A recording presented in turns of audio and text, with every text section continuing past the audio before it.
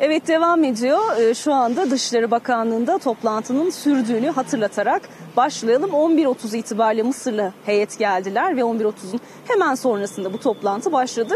Kapsamlı, geniş ve uzun bir toplantı olacağını söyleyebiliriz. İki günlük sürecek bu ikinci tur istişare görüşmeleri hatırlanacaktır. İlk tur görüşmelerse 5-6 Mayıs'ta yapılmıştı. Mısır'da, Kahire'de gerçekleşmişti. Tabii aynı heyetler e, var, aynı isimler başkanlık ediyor. Türkiye'den Dışişleri Bakan Yardımcısı Sedat Önal, yine Mısır'dan da Mısır Dışişleri e, Bakan Yardımcısı e, Hamdi Loza başkanlık ediyor bu toplantılara. Gündem başlıkları önemli ancak e, şöyle bir başlığın en dikkat çekici başlık olduğunu söyleyelim. Türkiye ve Mısır ilişkileri olumlu bir ivme kazanacak mı? Olumlu bir ivme kazanması için neler yapılmalı? Aslında başlıklar halinde bunun listeleneceğini söyleyebiliriz. Çünkü Dışişleri Bakanı Mevlüt Çavuşoğlu son görüşmesinde önemli detaylar verdi. Aslında bu görüşmenin içeriğine yönelik uluslararası ilişkilerde kalıcı düş- düşmanlık, dostluk yoktur. Bu ilkesizlik değildir. Karşılıklı adımlar atılarak ilişkiler normalleştirilebilir dedi.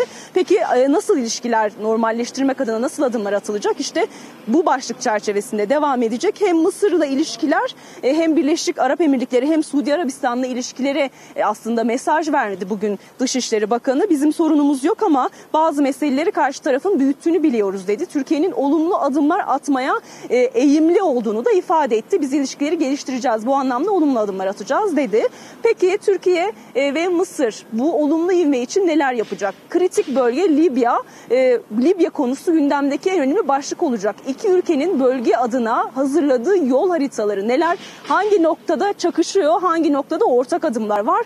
Bunlar konuşulacak. Bugün neler yapılabilir? Orta noktada nasıl olabiliriz konusu var. Tabii Suriye konusu da yine bir diğer gündem başlığı. Öte yandan e, yine Mevlüt Çavuşoğlu'nun verdiği mesajlar çerçevesinde şunu diyebiliriz. İki ülkenin e, ekonomik ilişkileri de masada olacak bugün. Bugün bitmeyecek, bugün sonlanmayacak bu toplantı. Yarın da yine e, devam edecek. Şu anda e, uzun zamandır devam eden toplantının hala sürdüğünü yeniden hatırlatalım.